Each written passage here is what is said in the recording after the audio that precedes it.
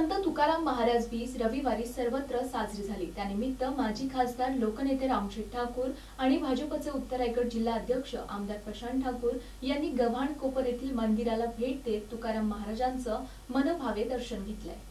यावेळी पनवेल पंचायत समिती सदस्य रत्नप्रभा खरत गव्हाण ग्रामपंचायतीच्या सरपंच माई भोईर उपसरपंच विजय खरत माजी पंचायत समिती सदस्य भाऊशेठ पाटील माजी उपसरपंच पांडुशेठ खरत रामदास ठाकूर किशोर पाटील सुधीर ठाकूर जयवंत देशमुख अनंता ठाकूर रामदास खरत ग्रामपंचायत सदस्य योगिता भगत उल्वेनोड उपाध्यक्ष सुजाता पाटील यांच्यासह मान्यवर उपस्थित होते.